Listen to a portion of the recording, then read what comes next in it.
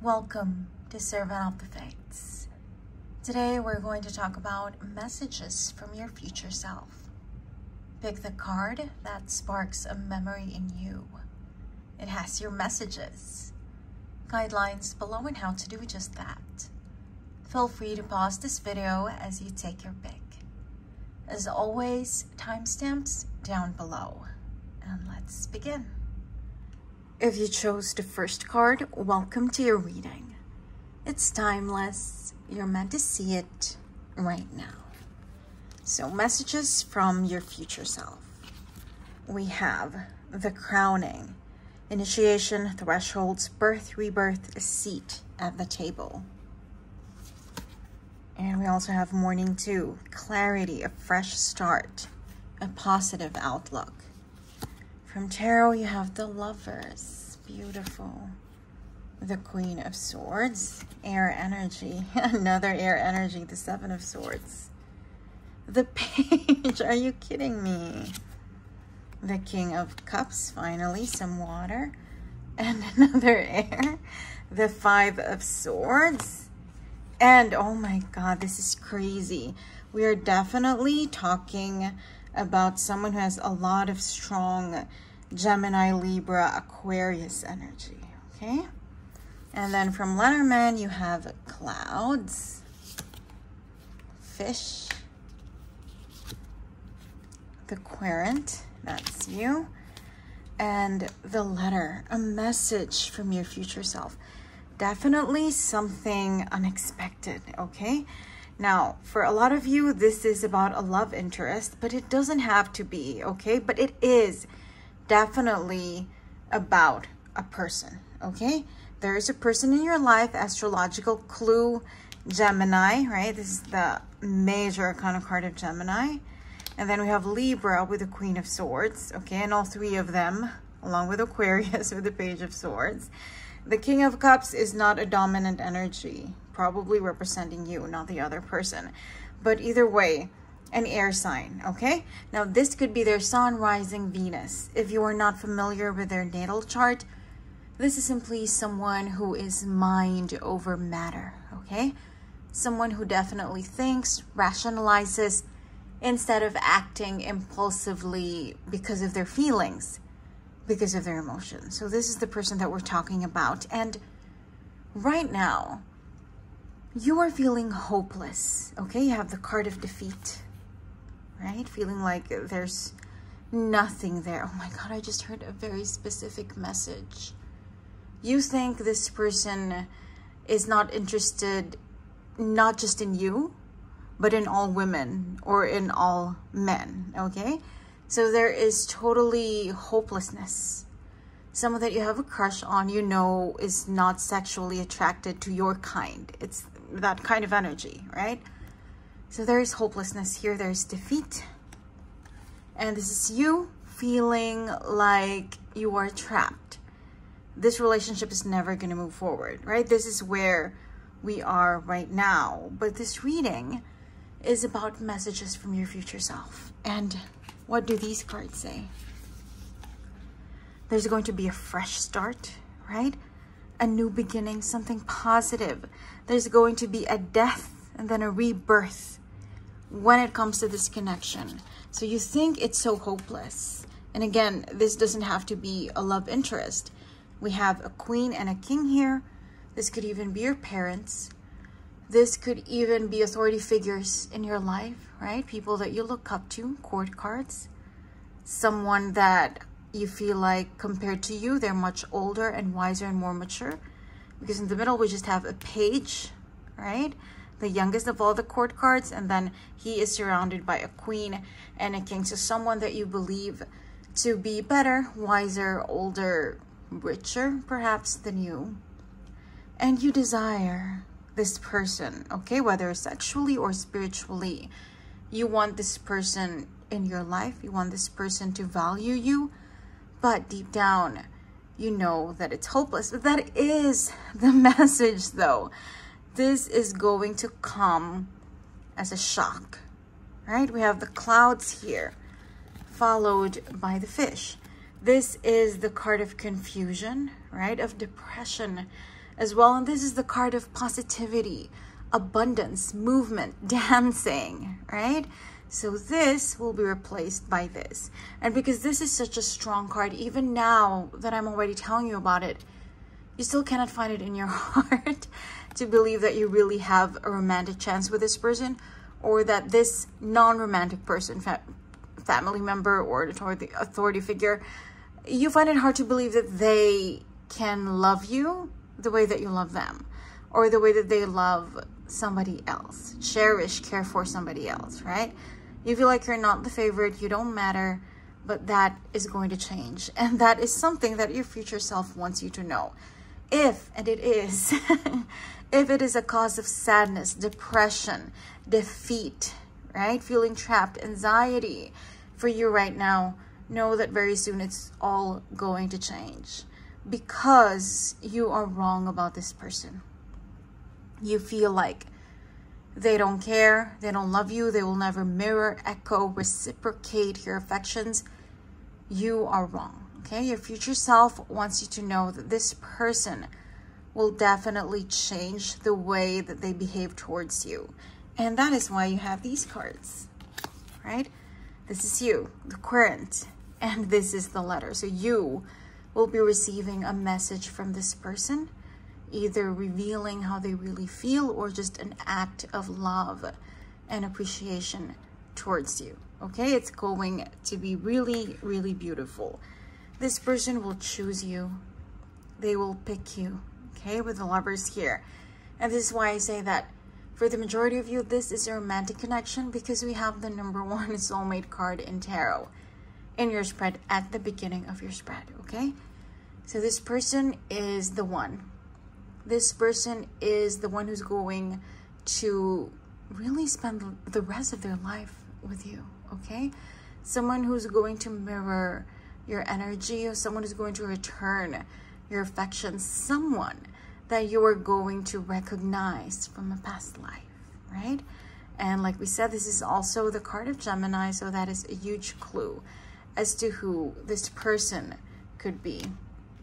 And right now, they really are just kind of cold towards you, even if they're not completely cold or cruel. With the Queen of Swords here, the way that they treat you, it's calculated. Okay, they might smile, they might laugh, but it's still professional or it's still civil and not heartfelt, okay? This is also the card of Libra. So Libra, Gemini, a lot of air, right? The suit of swords in tarot, that is the suit of the air signs. So definitely we are talking about someone here. Now there is some sort of negativity here with the seven of swords. You are going to be gladdened by this person giving you this news, coming into your life but someone else will be hurt. Okay? This is the card of this person choosing you over somebody else. So obviously, if this is romance, someone's going to get heartbroken. Someone's going to get left behind, right? For you, for your sake, okay? And it's going to be painful for that person with the Page of Swords.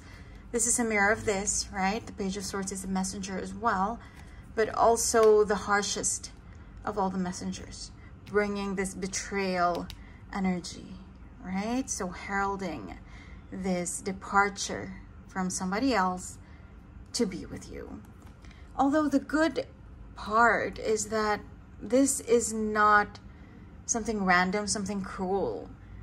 We have the lovers here and the king of cups so this person really is meant to be in your life and to stay in your life and to choose you. So there might be some pain and agony when it comes to another person a third party involved that they thought was their soulmate before they met you or that they thought was their favorite was their best friend the most loyal to them before they saw your worth okay but eventually they are meant to be with you. The King of Cups is the King of Hearts, the King of Emotions, and you, this relationship, are the King of their soul, right? Of everything that they are inside. So this is your message from your future self, darling. someone whose attention and love and affection you're craving right now will mirror your energies, will give everything back to you. Probably an air sign, okay? This is also the card of Scorpio. So maybe some prominent Scorpio somewhere hidden in their chart that you don't know about, but they do have this mysterious, quiet, but confident energy about them. So this is your message from your future self. It's a surprise, right? You're going to be shocked realizing that this person whom you thought didn't care about you at all turns out to be in love with you or to love you very, very deeply. And it is them who will come forward, okay? You don't have to do anything. We have the Page of Swords, the Messenger. We have this as well, another message card towards you. So it is them who's going to make the move. You don't have to do anything. This love, this relationship, this connection will just come towards you and it will involve hurting someone else, but it will eventually be the cause of your true happiness. I hope you enjoyed your messages. Thank you for joining me today, and I hope to see you again soon. Take care. If you chose the second card, welcome to your reading. It's timeless. You're meant to see it right now. So, messages from your future self we have the grandmothers. Remember your roots, perspective, trust the weavings. We also have the sacred union, beloved within inner and outer relationships. From tarot, you have the Eight of Cups, the Five of Cups, lots of emotions, the Ten of Pentacles. This is about your lineage, your family. We have the Seven of Cups, the Three of Swords, the Four of Cups, and finally from Tarot, the Knight of Cups. From Lenormand, you also have the Ring and the Anchor. This really is about family, the women in your life. We also have the tree again. Your roots, right? And the book. Darling, it's very simple. Your message from your future self is that all of the answers, all of the solutions to your problems, to your worries right now lie with your family, okay? With your history. I'm hearing that right now. With the Three of Swords and the Four of Cups you are actually looking down on your ancestors. It doesn't have to be distant ancestors, but even your mother, your grandmother, right? The women in your life, men as well, but more women. I'm hearing more women, okay? That's the energy that I'm sensing. You're looking down on them because you feel like they are martyrs with the Three of Swords, right? They allow themselves to be hurt by men, by life, by traders, right? By people in general. And every time you think about these women who are supposed to be role models in your life, you just don't want to be like them, right? You feel like you're better than them with the Four of Cups. You don't want to be anything like them. You feel that they're weak, right? You feel, I'm hearing that they haven't accomplished anything. No fame, not a lot of money, they never became somebody. So you do look down on them right now. But your message from your future self is that you will be inspired by these women, by these people, okay? Because theirs is a quiet kind of strength, okay? With the Eight of Cups, they walked away from other pursuits, from career, from being rich, from being known, from being prominent. They walked away from that and chose something else. I'm hearing it's either love or family. And again, you perceive that to be weak, right? But these people, these women in your life, they have a different kind of strength, okay? It is about putting other people in front of them, right? In front of their own needs, right? Putting other people first putting, oh gosh, I just heard something very specific. Some of these women, they didn't want to be mothers, okay? But their mothers wanted them to be mothers, so they did that for their mom's happiness, okay? It is, you are right, it's about being a martyr, it's about sacrifice, but this doesn't, as you think right now, make them kind of worthless, right? Or just someone who's mediocre or average. It actually made them really emotionally, spiritually, mentally strong. And there are a lot of pain and wounds in there that you don't see, okay? With the Three of Swords here. It's hidden. It's on the inside. It's in their heart, right? You do not see the things that they had to go through, right? You feel like their life is so easy. They don't have a career. They didn't go to college. For some of you, I just heard that, right? And it's just housework and being a housewife, and you just really look down on that. But here's the thing that is the true wealth for them, okay? They don't worry about deadlines. They don't worry about overtime, working overtime and nine to five jobs and all that they don't worry about petty things like that. They worry about nurturing someone, nourishing someone, bringing, giving life and love to somebody. So here you are looking down on these people, not knowing that theirs is actually the bigger, mightier, more majestic path. They give birth, right? They give life. They breathe life into someone. They give hope. They teach that child, that person, how to live and laugh and love and be alive. Right? So it's actually the bigger pursuit. And your message from your future self is that that's something you will realize. When you have problems, it's not self-help books that will help you. it's not even friends who could be loyal to you, but they don't know how to advise you, right? It is these people and right now you feel like it's crazy. You feel like there's nothing to learn from these women, that they just have crazy stories and anecdotes and folk tales and superstitions and whatnot, but they actually have a wealth of wisdom and knowledge and experience to impart to you, okay? So your future self wants you to know that when problems come in the future, make sure that you allow these women that you currently look down on to help you. Okay, it's really that simple.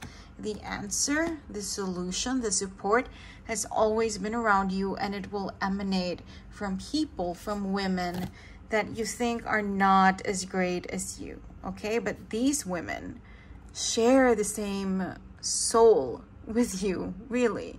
They share the same history, right? So you have to trust in what they have to offer. There's going to be a union between your lives, right? Between your experiences. You will see yourself in them, okay? There's a lot to learn from these people and it will really surprise you. With the Ten of Pentacles and Anchor and the Ring. This is the endlessness, right, of your connection with them. This is them helping you on the mundane plane of it, helping you with contracts, helping you with relationships, helping you when it comes to legal property stuff, right? They really are here to support you. And then with anchor and the 10 of pentacles, these are basically mirrors of each other. They are all about stability. So these women, these people in your life will help you find emotional strength. This is the card of families as well. There are three generations here, okay? You have the grandfather, right? You have his son and his wife, and then you have the child with the dogs, okay? so this is all about your grandmother, your mom, right? This is about you forming a stronger bond and them helping you in life, okay? And spirituality as well. Again, the tree from Lenormand, it's about your roots, but also your beliefs, okay? Your faith. It's about sharing that with them. And it's a revelation with the book here, okay? It will be revealed to you that all this time, the wise people that you are looking to idolize are not celebrities, are not gurus. It's the women in your life, okay? you will realize their true strength and it is so much better and more majestic and more impactful than you imagined. That is your message from your future self, okay? Learn from these women, befriend these women because they will help you achieve the best version of yourself. I hope you enjoyed your messages. Thank you for joining me today, and I hope to see you again soon. Take care. If you chose the third card, welcome to your reading. It's timeless. You're meant to see it right now. So, messages from your future self we have, and they won't, they don't want to show themselves, Temple of the Rose, Ancient Power, Expression, Activation, Scarlet Codes. Very cryptic. We also have Sub Rosa, oh my god, again, cryptic. Hidden in plain sight, mysteries, learning, and teaching. This has to do with the occult or maybe just spirituality so far. We have the Hermit. The theme continues, okay? Meditation, introspection. We also have temperance, healing, balance, right? Mental health. you are kidding me. The Hangman, another very spiritual card. We also have the Two of Cups, love. The Eight of Pentacles, work. The Wheel of Fortune, luck. And the King of Pentacles. This is a very strong message. From Lenormand, you have Rider again. Something really strong. And Clover. This is like a mirror of the Wheel of Fortune. Something about luck. You have Cross and the Key as well. Your message from your future self is that there is truth in lies. And we are mostly talking about spirituality. For example, horoscopes obviously they're stupid, right? I'm talking about the magazine type, the tabloid type of horoscopes. Today, you should wear red. That way you're going to meet your soulmate. Like, that's crazy, right? Or giving you lottery numbers so that you can become a millionaire on Saturday. Obviously, these are kind of very commercial and they're more for fun and you can really take them seriously. They're very vague, right? They're very ambiguous and they're meant to be like that so that everyone can relate to them.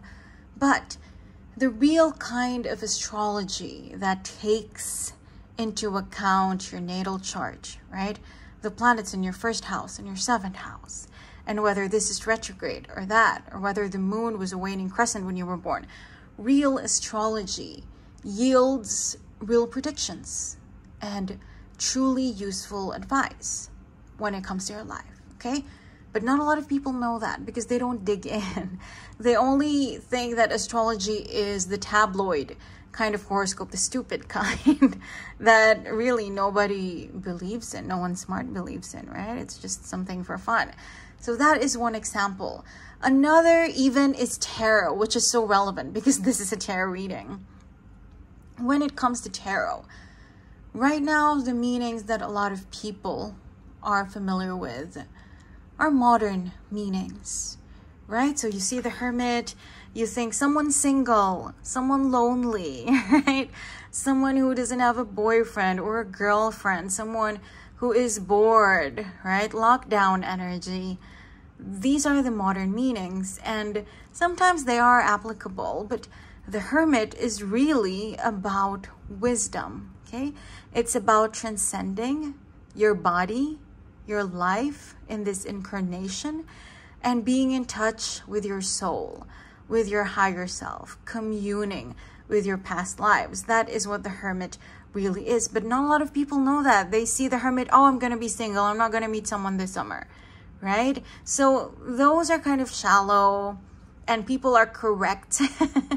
people are right to criticize them, skeptics, right? When they say that tarot is stupid astrology is stupid because they only know the shallow modern meanings, but there is always something else. So again, your message from your future self, there is truth buried deep within the lies, right? Hidden in plain sight, mysteries that actually matter, that are truly occult, that can actually yield real magic and change and evolution in your life, okay? It's like there is this ancient power within you that you will be able to tap into. Okay, so basically, your future self is asking you to be more spiritual, more curious when it comes to the occult, when it comes to spiritual magic, when it comes to your soul. Okay, and not just because it's fun, you want to meditate, it's cool. it's because it also ties in with the real world, okay? Your first three cards are very spiritual. You have the Hermit, the card of Virgo, Temperance, this is the card of Sagittarius, and the Hanged Man, card of Neptune, ruler of Pisces. So probably we are talking about someone who has those signs prominent in their chart, who is important in your life, or we're talking about you okay? But either way, look at these cards. They're all calm. No one is like the King of Swords who is attacking, right? Or the King of Wands who is ready to stand up and dance, right? These are very calm energies. The Hermit, right? He's alone on top of the mountain. The Temperance card. This is someone who's just balancing something. someone who is thinking about mental and emotional balance, right? Playing with water somewhere in nature. It's quiet. The hangman is not moving, meditating, definitely, introspection, right? So the first part of it is you're being asked by your higher self and being told that no matter how worldly or practical or skeptical you think you are right now, in the near future, you will be into spirituality, meditation, divination, even spellcraft, and you're going to be successful. The Hermit is the card of success, of wisdom when it comes to spiritual endeavors, and then Temperance. This is achieving equilibrium, absolute balance between your material world and your spiritual world.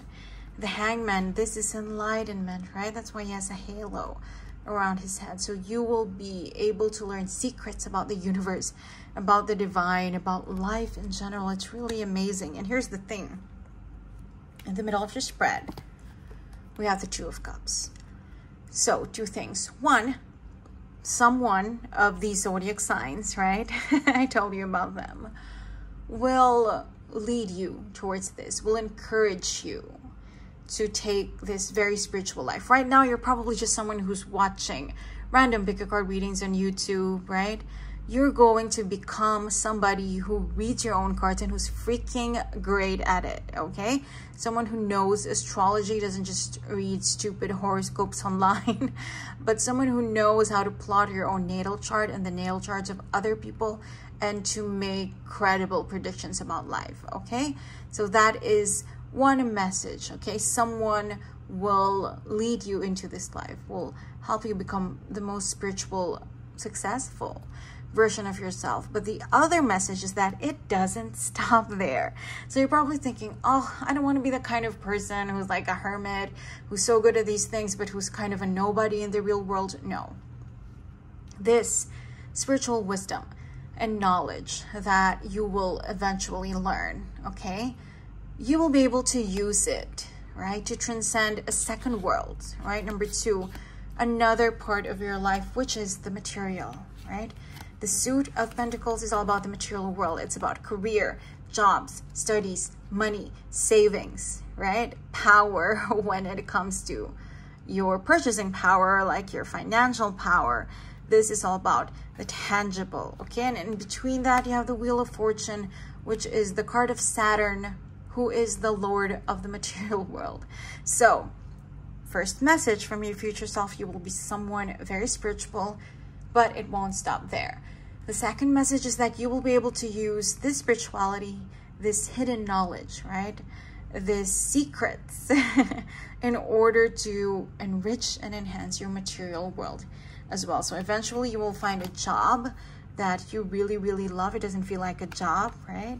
and then you will find a lot of luck when it comes to promotions, bonuses, jobs, windfalls, raffles, even lottery, right? The Wheel of Fortune is literally a lottery card.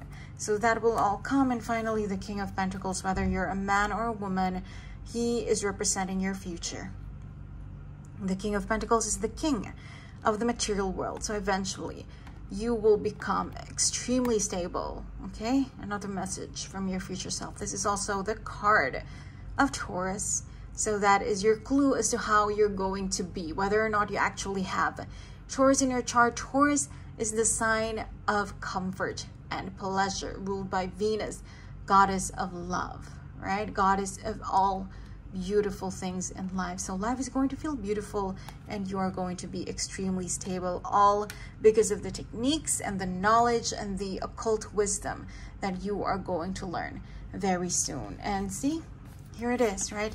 There's a rider, one of these three people, Virgo, Sagittarius, Pisces, okay? One of these people will act like a rider, like a messenger, taking you towards your luck with clover, okay? And finally, this really is your fate, okay? The cross is the card of spirituality, what we've been talking about this whole time. And that will soon be unlocked, right? Your potential to be someone very prominent in the occult, someone really good at divination and spell casting and astrology, right? All of that potential will be unlocked. And with that, will also be unlocking the financial, material, tangible stability of your life in this world, okay? So you're not just going to be some hermit who is so hippie and who doesn't want to talk about anything real and practical. You are going to rule both sides of your life, mental, spiritual, material, financial, tangible, okay? So you are going to be able to sit in your own throne. That is your message from your future self. It's going to be shocking, right? This is so not you. I'm hearing a lot of you just like to sit, sit back and relax, not participate so much, just be a spectator. But all of that is going to turn around and you're going to be an authority both in the occult and the material world, okay? Basically, in short, your message from your future self is that you are going to be somebody, I hope you enjoyed your messages. Thank you for joining me today, and I hope to see you again soon. Take care.